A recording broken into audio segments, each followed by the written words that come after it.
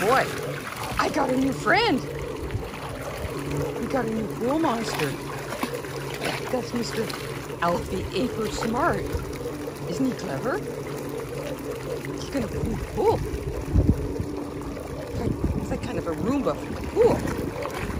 I rather like this. Oh, he's trying to climb the wall, but it's too shallow.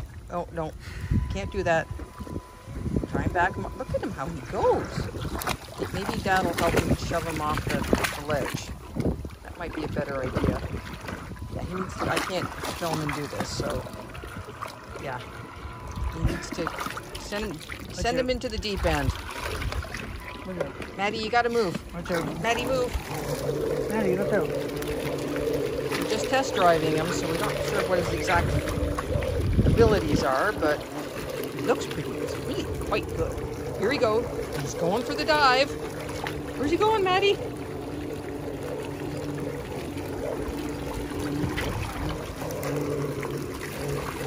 Okay, there he goes. It's wonderful because he's cordless. He's got nothing but himself just zipping around the pool. He's gonna sink based on what he did before, so I really like him though because he makes this nice water fountain thing going. Charges his battery and then off he goes and he zips around and cleans the pool.